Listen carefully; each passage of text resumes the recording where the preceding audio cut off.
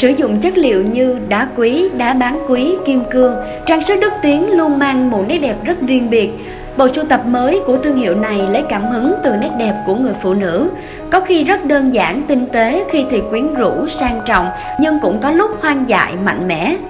Bộ sưu tập sử dụng các loại đá quý nhiều màu sắc như trắng, đỏ, vàng, xanh với kiểu dáng đa dạng bao gồm nhẫn, dây chuyền, bông tai mang đến cho người đeo một nét đẹp mới lạ, hợp xu hướng và thể hiện được gu thời trang đẳng cấp của bản thân.